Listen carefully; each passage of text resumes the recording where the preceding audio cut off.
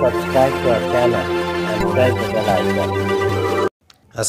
अज़ीज़ तलबा जमात हश्तुम के आठवें सबक, सनत के तीसरे वीडियो में आप तमाम का इस्तकबाल है। आपको हमारा वीडियो पसंद आए तो लाइक कीजिए शेयर कीजिए, हमारे चैनल को सब्सक्राइब कीजिए, इस वीडियो को आखिर तक देखिए। महाराष्ट्र इंडस्ट्रियल डेवलपमेंट कॉरपोरेशन यानी एम रियासत महाराष्ट्र में रियासती हुकूमत ने यकम अगस्त उन्नीस सौ बासठ को महाराष्ट्र इंडस्ट्रियल डेवलपमेंट कॉरपोरेशन क़ायम करके इसी के मार्फत हर ज़िले में सनती इलाके की तश्कील की है। देखिए, महाराष्ट्र का गठन हुआ था एक मई उन्नीस सौ उन्नीस सौ साठ को और उन्नीस सौ बासठ में ही महाराष्ट्र ने इंडस्ट्रियल डेवलपमेंट कॉरपोरेशन क़ायम कर दी और हर ज़िले में सनती इलाके की तश्कील की। इसकी वजह से पूरी रियासत में सनतों का फैलाव यानी लामरकजियत मुतव है। महाराष्ट्र ही की तरह मुल्क की दूसरी रियासतों में भी इसी तरह के कॉरपोरेशन है। इन सनती इलाक़ों में बेशतर जगहों पर एक दूसरे की तकमीली सनतें क़ायम नज़र आती हैं। सनती इलाक़ों की वजह से मुकामी लोगों को रोज़गार हासिल होता है। देखिए महाराष्ट्र एमआईडीसी महाराष्ट्र की तरक्की में एक बहुत ही अहम किरदार अदा करती है। इसी के साथ साथ महाराष्ट्र के जितने रहनुमा थे उन्होंने दूरअंदेशी का मुजाहरा करते हुए सनतों का जाल बिछाया, यहाँ के लोगों को रोज़गार मिला। इसीलिए आज महाराष्ट्र पूरे भारत में सबसे अव्वल मुकाम पर सनती तरक्की में अव्वल मुकाम रखता है और बेशतर इलाक़ों में सनतें क़ायम नज़र आती हैं। सनती इलाक़ों की वजह से मुकामी लोगों को रोज़गार हासिल होता है और ऐसे मकाम पर सनतों की मुख्तलिफ़ अकसाम की ज़रूरी सहूलियात मुहैया की जाती हैं। ये आठ आशारिया सात में कुछ नुकात दिए गए हैं और इसके साथ इसके ज़रिए हम समझ सकते हैं कि इसके फ़ायदे और नुकसान कौन कौन से हो सकते हैं। ये सा, आठ आशारिया सात जो शक्ल है, ये हमने अभी देखना है, इसकी जोग्राफ़ी वजाहत भी देखेंगे और इसे भी समझने की कोशिश करेंगे। अब इसमें क्या है? इसकी जोग्राफ़ी वजाहत में इस बात की तरफ़ इशारा किया गया है कि सनती तरक्की से कई फ़ायदे हासिल होते हैं, लेकिन इसके साथ ही इसमें कुछ खामियाँ भी हैं। सनतकारी की वजह से किसी इलाके के नौजवानों को रोज़गार मिलता है, इसी तरह फ़ीकस आमदनी में इजाफ़ा होता है और ज़रूरी मुल्क की माशी तरक्की के लिए ज़रूरी पैदावार पर मुनसर सनतों का क़्याम ज़रूरी होता है। ऐसी सनतों की वजह से ज़रात और मुल्क की माशी तरक्की होती है आवाम का म्यार ज़िंदगी बुलंद होता है। अब यहाँ पर बहुत ही बेहतर तरीके से ये बात समझाई जा रही है कि अलग अलग चीज़ों के ऊपर अगर हम फ़िक्र करें, सोचें, समझें तो यहाँ पर हमें इस बात की तरफ़ इशारा मिलता है कि सनतों का क़्याम करना ज़रूरी है, लेकिन उससे बेहतर तरीक़ा ये है कि हम जो मुख्तलिफ़ किस्म की जो सनतें हैं, उनसे कौन कौन से फ़ायदे हासिल होते हैं, उसकी तरफ़ भी तवज्जो करें। अब इसमें कुछ सवाल आते हैं, जैसे कि मालूम हासिल करने के ज़राए कौन कौन से हैं? इसमें अब यहाँ पर कुछ नुकात दिए गए हैं, जैसे कि रोज़गार ज़रूरी तरक्की, जंगलात का जवाल, आबादी, अशिया की मस्तकम कीमत, हुनरमंदी हुनरमंद नफरी क़वत, मज़दूरों की दस्तियाबी ज़्यादा ज़मीन ज़्यादा ज़मीन ज़ैर आब तहजीबी तरक्की, आलूदगी, बुलंद म्यार ज़िंदगी, बाज़ार, ज़मीनों की बढ़ती कीमतें। अब ये तमाम चीज़ें क्या हैं? इसको आपको जदवल में रखना है, किसको, किस चीज़ में रख सकते हैं? अब देखिए, यहाँ पर जो पहला जो सवाल है, सनतों के लिए क्या फ़ायदा है? सनतों से फ़ायदे क्या होते हैं? रोज़गार मिलता है ज़रूरी तरक्की होती है, आबादी, अशिया की मुस्तकम कीमत, हुनरमंद, नफरी क़वत, बुलंद म्यार, ज़िंदगी, क्या फ़ायदे हैं सारे के सारे? मज़दूरों की दस्तियाबी, बाज़ार, ज़्यादा ज़मीन ज़ैराब नकल हमल की सहूलियात की तरक्की, रसोल रसायल, तहजीबी तरक्की, ख़वानगी, शहरकारी को फ़रोग, वाफिर मकदार में पानी और मुसलसल बिजली की फरहमी।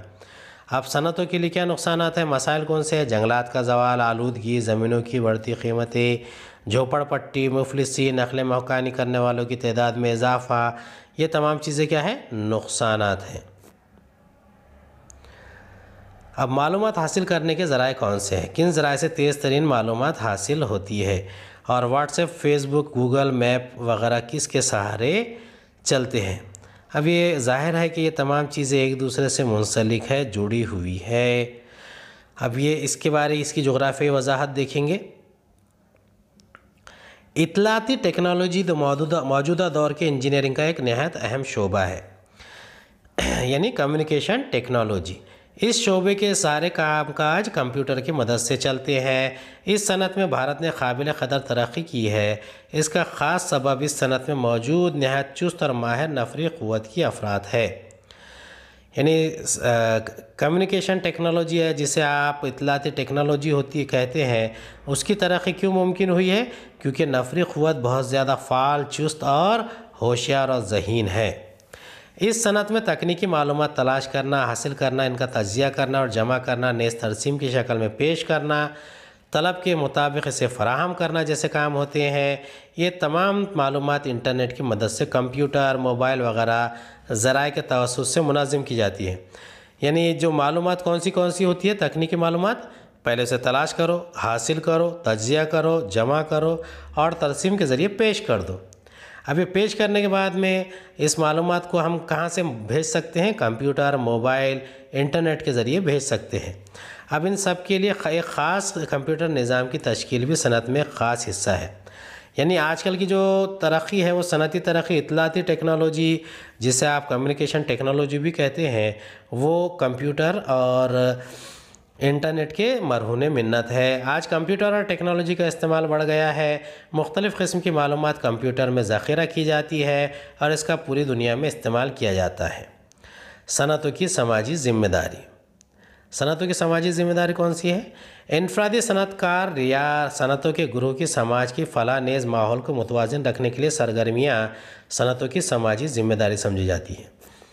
माहौल को मुतवाजन रखना, यानी माहौल को साफ़ रखना उसके अलावा समाज की फ़लाह करना, यानी वेलफेयर के काम करना, जैसे कि स्कूलों की इमदाद करेंगे या फिर हॉस्पिटल खोलेंगे तो ये एक समाजी काम है।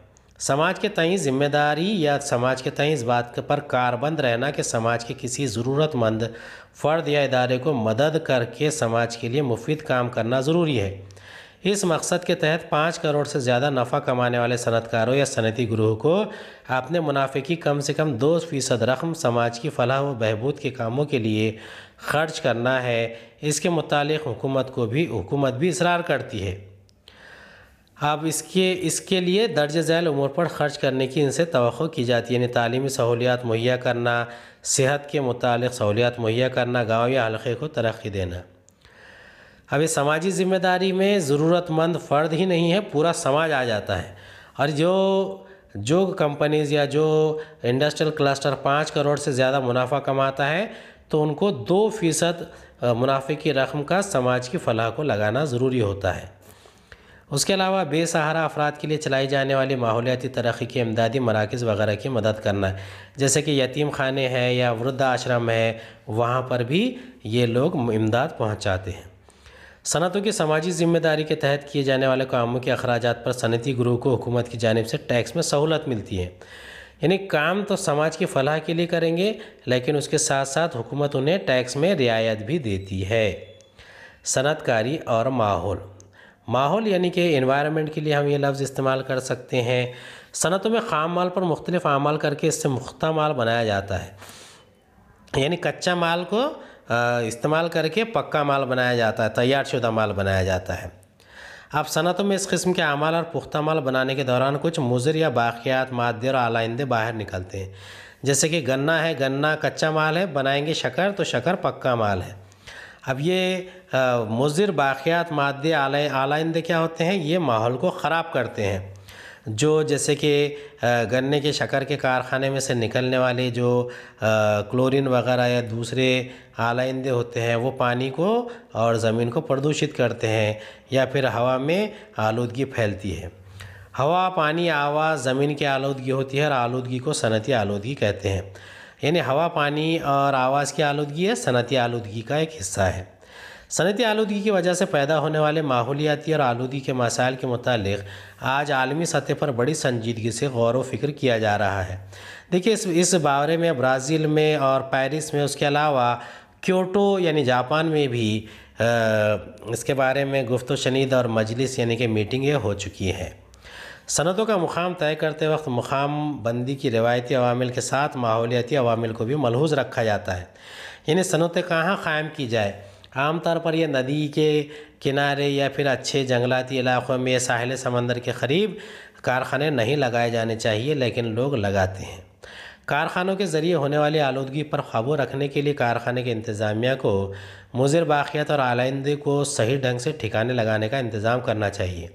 अब कारखाने वाले वो इतने परेशान होते हैं, वो तो उसे वैसे ही फेंक देते हैं। लेकिन बहुत सारे कारखानेदार जो है, माहौल दोस्त क़वानीन के पालन करते हैं और उसको सही तरीके से ठिकाने भी लगाते हैं।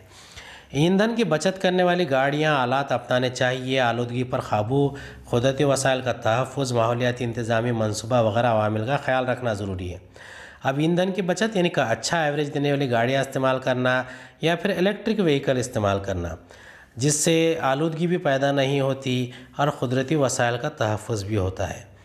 भारत में सनती आलूदगी को रोकने के लिए रियासती और कौमी सतह पर कुछ कवानीन और असूल बनाए गए हैं। मसलन पानी और फ़ज़ाई आलूदगी को काबू में रखने का क़ानून, माहौलियात का तहफ़ और बखाव असलाह का क़ानून भारत हुकूमत का आलूदगी पर काबू रखने का मरकज़ी महकमे आलूदगी के मुतालिक काम काज पर नज़र रखता है। ये क्या है? पॉल्यूशन कंट्रोल बोर्ड कहते हैं जिसे, यानी आलूदगी पर काबू रखने वाला ये मरकज़ी महकमा है। Central pollution control board C P C B इस ताल्लुक़ से क़ानून की ख़िलाफ़ वर्जी करने वाले कारखानों के इंतज़ामिया को इसका जवाबदार काबिल सज़ा ठहराता है। भारत में कई अहम अवामी सनती ग्रुप क़ायम हुए हैं, इनके मुखफ़ नाम दिए गए हैं। अब मुखफ़ यानी कि शॉर्टकट में दिए गए हैं। शॉर्ट नेम है O N G C oil and natural gas corporation hall Hindustan aluminium limited B E L Bharat electrical limited B H E L Bharat heavy electricals limited N T P C national thermal power corporation N T C S A L GAIL इस किस्म के ये नाम दिए गए हैं। अब अहम इतलाती टेक्नोलॉजी के मराकज़ को आईटी हब के नाम से जाना जाता है। अभी आईटी हब कहाँ कहाँ पर है? ज़्यादातर पूना, बेंगलोर, हैदराबाद और मद्रास में है। आबी खानदगी के वक्त की अहम ज़रूरत होती है। कौन सी किस्म की सनत दीही इलाक़ों से शहरी इलाक़ों की जानब लोगों के आन, लोगों के आने को रोक सकती है? ये सनतें क़ायम कहाँ करना ज़रूरी है? कौन सी खनतें, सनतें रोक सकती हैं?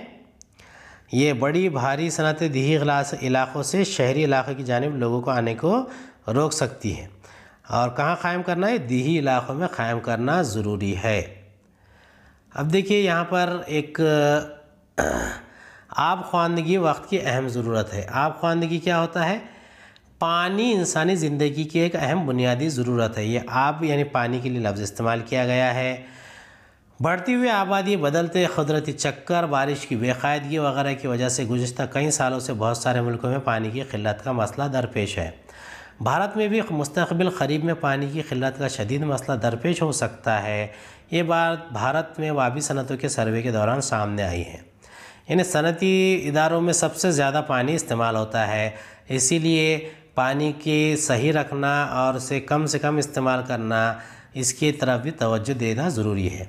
भारत कुदरती वसाइल से माला माल मुल्क है। भारत के दरियाओं को बारिश से पानी मिलता है। दस्तिया पानी को रोककर इसका किफ़ायत शुरी से इस्तेमाल करना नहायत ज़रूरी है। यानी भारत में बड़े पैमाने पर बारिश होती है, जिससे हम पानी इस्तेमाल करते हैं। छोटे छोटे पुश्ते, नहरें, खेत, कुएँ, तामीर करना, पानी को ज़मीन में जज्ब करने, पानी को दोबारा इस्तेमाल करने, आबी आलूदगी को कम करने, सनतों से निकलने वाले गलीस पानी पर मुख्तलिफ़ अमल करके इसे दोबारा इस्तेमाल करने वगैरह तदाबीर के ज़रिए हम मुनासिब आबी मनसूबाबंदी कर सकते हैं। हम अपनी ज़ाती ज़रूरत के तहत पानी का इस्तेमाल करते हुए पानी को ज़ायम ना करने और पानी का कम से कम इस्तेमाल करने जैसे असूलों पर अमल करके पानी की किल्लत के मसले पर काबू पा सकते हैं। आबी मनसूबाबंदी के मुतालिक अवाम में बेदारी पैदा करना वक्त की अहम ज़रूरत है। उम्मीद है आपको हमारा वीडियो पसंद आया होगा। अगले वीडियो में दोबारा मुलाकात होगी। खुदा हाफि